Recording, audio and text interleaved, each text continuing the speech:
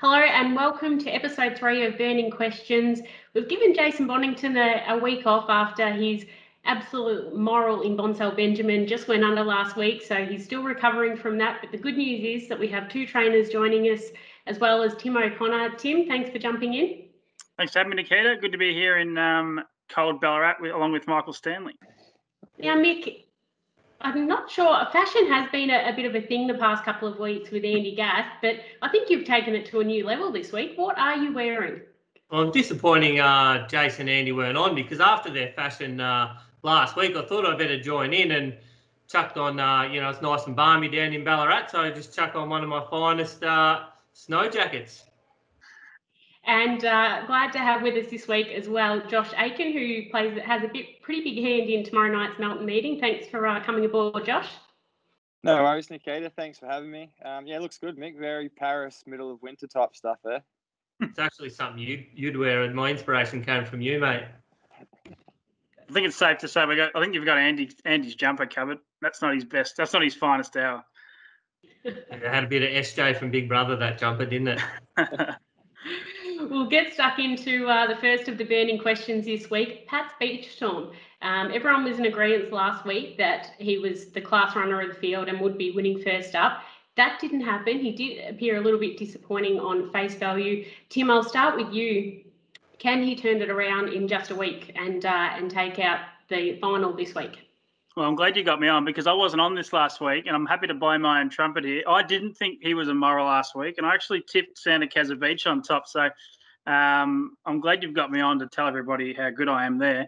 Um, I don't think he can turn it around. I was, um, I think there's a stack of chances in this race, and um, I mean it's just a, it's a concern. I haven't seen any markets yet in terms of what price he'll come up, but um, I couldn't have him on that last run. I mean, of course, he can win the race, he's class, but um, I think he's become a bit of a wait and see or watch and see prospect now for me. So, um, yeah, I've got a few ahead, few ahead of him, and um, including Santa Casa Beach, who I reckon can repeat the dose in that um, in the fastest of those two heats. Mickey, did prove uh, or seem to be below his best. I think that the real Patsbeachstorm uh, would have performed a little bit better than he did last week. Do you think that the horse can turn around that form in, in just a week's time? Um, firstly, Tim blowing his own trumpet. Um, yeah, that's something that uh, we're common with down here in Ballarat as the uh, old sport uh, footy hound. So uh, doesn't surprise me at all, Timmy. Um, Look, I, I don't think he will turn it around, to be honest. I, I sort of thought we spoke about last week, I thought he would just stroll around and win, but maybe looking back on it, you know, these three year olds that are lightly raced um, with the change of seasons coming in and racing, although it didn't look like a strong race on paper to a Derby field, it may not have been, um, you know, ready to, to step into that. I think they've gone 152 something. And although he had a nice run, for a three year old that's lightly raced to step into open grade horses that are running in uh, metropolitan races week in, week out, maybe he might just take a couple at that tempo to really pick it up and, and hit his straps. So the inside second line draw, unless Kiss Me Elvis holds the lead, he's probably going to end up in the second half of the field or hedge his bets on the fence. So he might find it hard to win again again this week, but I wouldn't write him off. I think uh, he's too good a horse, and and Dave's too good a, a trainer and driver to uh, you know say when the, the Queensland Derby comes around, he'll um, he'll have him ready then. Um, you know, regardless of what happens this week. Josh, you know David Moran quite well, and uh, you would have seen this horse race plenty of times. What's your take on it from his uh, his effort last week? Can he turn it around from that sticky inside back row draw? Yeah, he's a gun horse, and um, I've been a, an admirer of his for a long time. I think, like Mick touched on, if if Dave's got Queensland in mind, it doesn't surprise me sort of that he was a little bit underdone last week. Um, he's probably got a pretty big, you know, three months to even six months to the end of the year. So Dave's a pretty smart trainer. He'll be timing this horse's run in terms of his campaign to perfection. But yeah, just with his talent and ability, um, yeah, nothing just for his talent and, and, and ability, nothing would surprise me with this horse. He's a really exceptional three year old. Um, but it is tough for these three year olds to sort of go in the deep end at metro level straight away as well. Josh has given me flashbacks of the uh, neighbour from Tim the Toolman Taylor there with uh, just half the face. Uh, flashbacks from I forget his name, but uh, it's uh, that's oh that's better. We uh, we can see your eyes now, Josh. Just, It is just as interesting Stuart's trying to call, they can wait.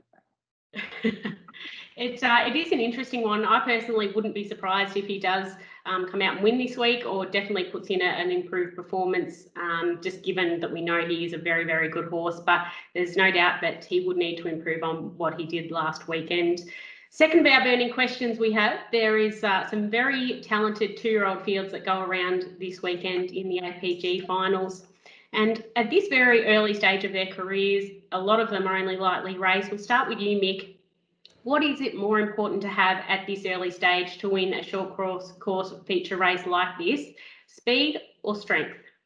No, definitely strength. Because a lot of the two-year-olds at this time of the year run on uh, pure ad- adrenaline because their, you know, generally their only second or third race start going into these races. So I think you find in in a hotly run Group One race, generally the strongest horse wins. So, um, and that's probably why I'm sort of forgiving Fiamma a little bit in her heat um, for running third because she got crossed at the start from barrier one and she over raced really badly. So um, she- although she might have looked a little bit disappointing the last hundred, I sort of forgive her a little bit because it, you know, over racing that bad, she probably was never going to let down when she got the gap. So from two, and interesting that Kate is is stuck with Fiamma. She would have had a few choices, I'd imagine. So from two, she's not going to get held up. And we saw in her first start, she did sit outside the lead and was very impressive. So although a couple Irish Black Label and Petalont and, and did look impressive, I- think from the draw, Fiamma might be the strongest and she won't get held up. So that's why I was sort of stuck with her in that fillies division. Mick, if you could take home with you a colt and a filly from the, those two-year-old races, have you got any? I'm guessing you may be saying Fiamma after what you've just told us, but is there a couple that you wouldn't mind joining your barn? I'll probably take all Emma Stewart's horses to be honest. they all look uh, they all look super. Um, look at the couple of Irish Black Label. I think the way she raced long term um, might be the one with her breeding and that that I would take out of the fillies. Um, and then obviously Beach Villa. He he.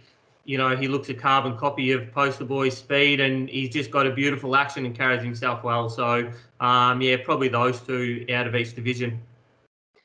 Josh, are you going with uh, the speed horse for a two-year-old at this early stage, or are you with Mick? And do you think that strength is uh, is what they need so early in their careers? Uh, definitely strength. You know, people see the mile race as a as a sprint trip and a short trip, but you talk to anyone that races regularly at Menangle or in America, and a genuine mile is an endurance race. It's a strength race. Um, so any sort of horse can sprint for 200, 400 meters and be quick, but you know, to to do it at both ends in a in a mile race or even in, endure it through a, a um, genuine tempo in a mile race, you definitely need the strength. And I think the way our, our babies are bred now, a lot of them are bred to have high speed, but it's the ones that have that sort of bottom that you know when when the pressure cooker goes on, they're they're the ones fighting out the finish. And if you could only uh, pick one colt, and one filly to join Team Aiken, Yeah, I'm, I'm gonna have to fight Mickey. Read me mind. I, I love that Colt uh, Beach Villa. He's, he's awesome. And uh, I watched Irish Black Label win as well. And she's only a little filly, but um, like, like the fillies proved last year, like they don't they don't need size to um to be dominant. And she impressed me. So me and Mick might have to do a paper scissors rock for those two. well, I'll be joining both of you because they're my as well, uh, Beach Villa and Irish Black Label. Surprisingly, um, Beach actually reminds me, how he goes a little bit reminds me of his half brother, not poster boy, but born to rock and roll. I think he's very similar to him in, in his action and how he moves. So um, there's no doubt that both of them have loads of, talent and uh, Lauriston are in for another big season. Tim, speed or strength for the two year olds for yours?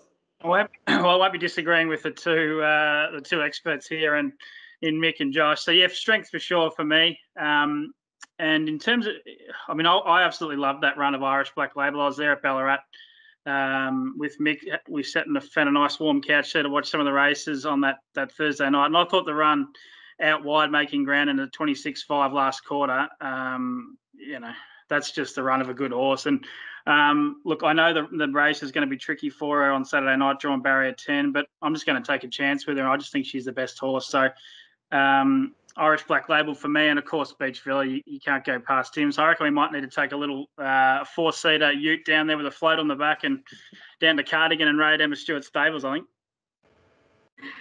The third of our burning questions we have, and I'll start with you here, Josh, uh, because I'm very interested to hear what Mick has to say. But we will start with you. Race number eight, the three-year-old boys final, looks to have plenty of speed on paper. Now we know it doesn't always pan out that way, but uh, plenty of the horses do like to lead and do have that gate speed. Uh, of course, we have Tasty Delight, Act Now, Soho Bollinger, and Captain Crusader drawn one to four.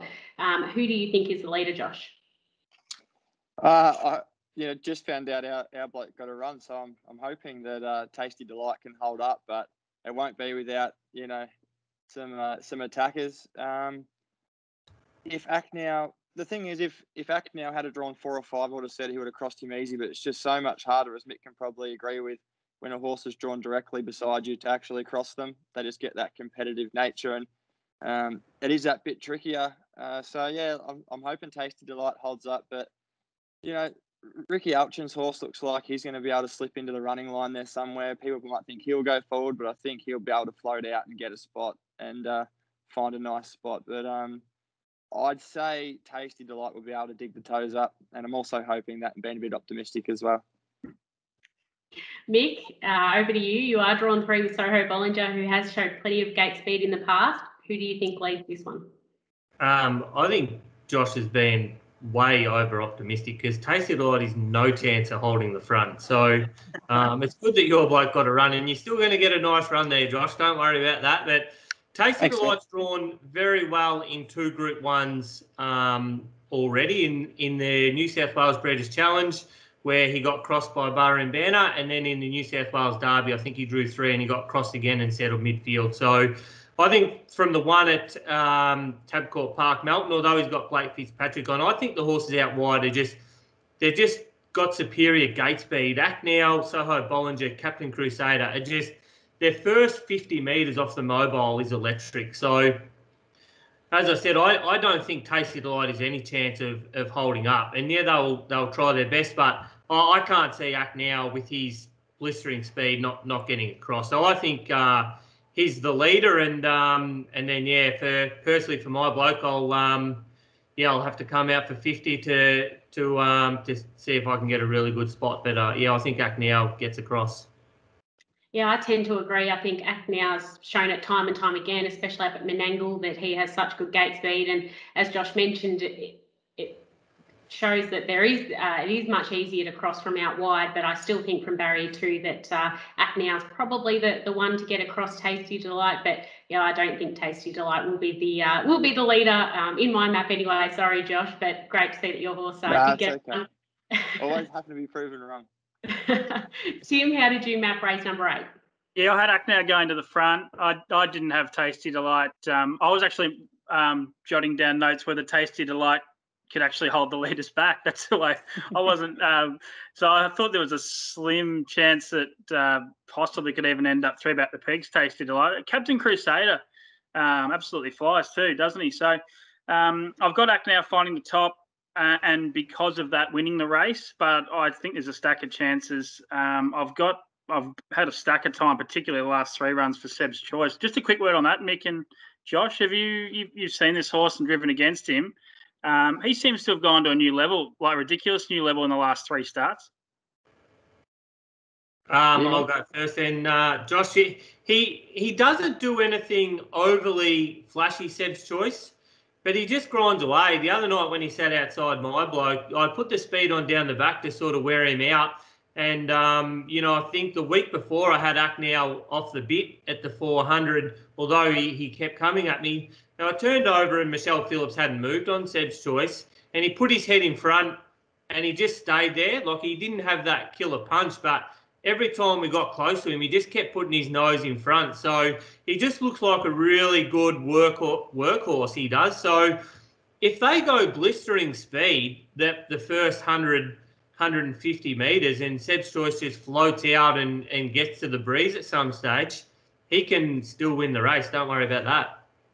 Yeah, I've got a lot of time for this horse as well, and he's the thing that impressed me the most is just his manners. He's a he's a real professional. Um, seems to relax when they need him to relax, and when they press the button, he goes. And uh, you know, a lot of trainers talk about a trip away, and he had a trip down to Tasmania, and just seems to have come back a really nice horse, and probably one.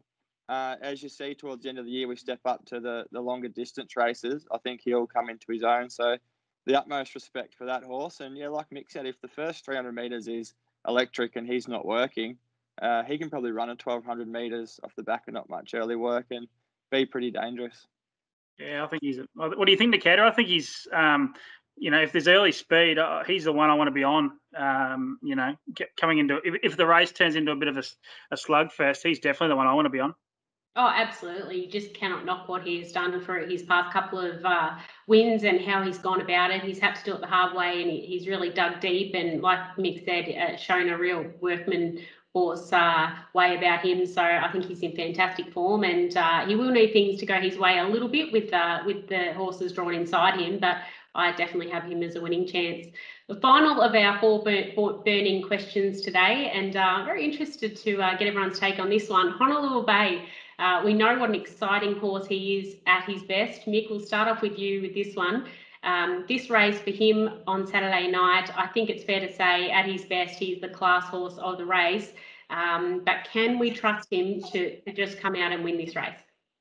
No, he can't because I tipped him to win the uh, four-year-old Bonanza, and Josh will agree he was absolutely giggling on the bend, I reckon, and he just didn't let down. So for that fact, I'm potting him because he let me down on the night. But um, no, nah, his best is brilliant, and I'm not too sure. Josh will touch on a little bit more whether he's a, a better front runner over the short distance to to maybe the longer trip, or if he gets caught out wide. But certainly when he's in front over the short trip, uh, he looks as, as good as any horse going around. I, I love that he's high cruising speed. So, um, but yeah, there's definitely you know from looking afar from from outside, Josh, I would think over the longer trip if he if he doesn't um, get his own way and that he, he's definitely vulnerable. Yeah, the, the circumstances on Saturday night will suit him. He's going to be able to find a helmet in the running line in a, not, not, a, not a very big field, an eight horse field, and that will suit him. But just from a training point of view, it's it's very hard. We saw it with it just personally with Reactor now and then Honolua Bay, and we're probably going to see a similar thing with Narrowtack Prince. These horses just flying through their grades, you know, in under 10 starts, and they're going from being a three year old maiden to racing at nearly free for all level at Melton in a matter of 10, 11, 12 starts. And you just don't get that chance to season your horse or to teach them some ring craft along the way.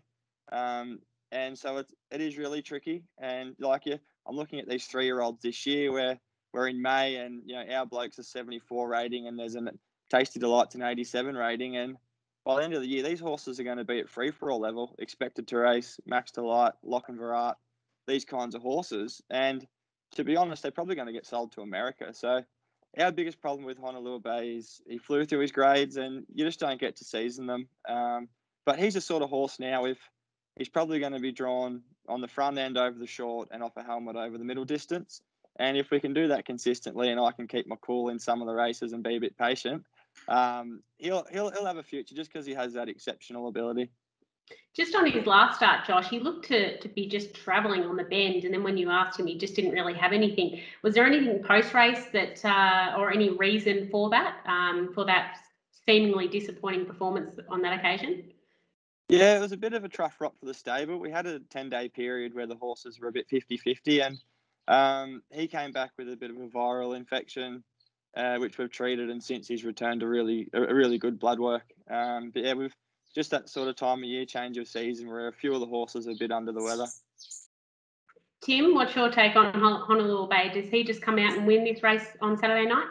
I think I think the original question was, uh, can he be trusted? Um, uh, sort of, but not fully, if that makes sense. And the other, your question to answer your, your last question there is, can will he win on Saturday? Yeah, I think he's a good thing on Saturday. Um, I know we'll get to some best bets later. I've I've gone a little bit exotic in my best bets. I've made him one of the legs of a three leg multi. So, uh, yeah, I think he comes out, and I mean, I think he's a much better horse than than what he meets uh, on Saturday night. And as Josh said, I think the conditions and the race sort of suit him. So, yeah, I think he's a good thing on Saturday night. Well, Tim, we uh, you've mentioned best bets, so we might as well find out this multi, and I hope our punters have their pens ready because we are coming off the back of some very, very good form, but with Mick and Andy both tipping uh, value runners that, that got the job done in Yolanta and also Arden Voyager on Saturday night. So that there's no pressure, but there is plenty of pressure, Tim. So kick us off. Well, I'll clear the stage for Mick with my bets because Mick needs a couple of minutes to talk about Yolanta. We didn't talk about him enough, uh, about her enough on radio, so I'll, I'll, clear the floor for him in a minute. Uh, my three-leg multi that I'm going to go with, uh, race two, I'm going to go with number nine, Cover of Darkness. First up from a spell. This horse needs no introduction. Uh, super uh, young trotter on the um, on the first up uh, assignment on Saturday night. I think um, a much better horse than than what he meets in that field. I'll take uh, Cover of Darkness into one of David Aikens, Max Delight. I think race five, number two, Max Delight can go to the top and win again. And another one from the Aiken camp, as we spoke about, num- race 11, number eight, Honolua Bay. Um, I think that can bring up the three leg multi. So, not sure what price you get. I haven't seen any markets at the moment, but um, let's hope we can knock those three over. Josh, as we mentioned off, off the top of the show, you do have a, a pretty nice hand uh, driving wise tomorrow night.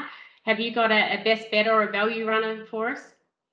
Uh, best bet's probably that Kate Gath will drive a Group One winner, but my personally speaking, um, I think my best chance is um, Max Delight. He's just coming to his own, and you know the last fortnight we've had since that last win, which with no disrespect, was essentially like a bit of a sharpen up race for him. Um, he's just re- really come in and started hitting his straps the last fortnight. So he's my best chance, and he'll be driven with the utmost confidence.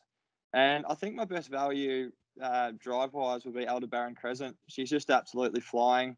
She went up to Menangle and probably we gave Jimmy uh, one instruction: just find a helmet. She's got good high speed, and he, he parked her out and still won. So she's, uh, but that, that, that's Jimmy.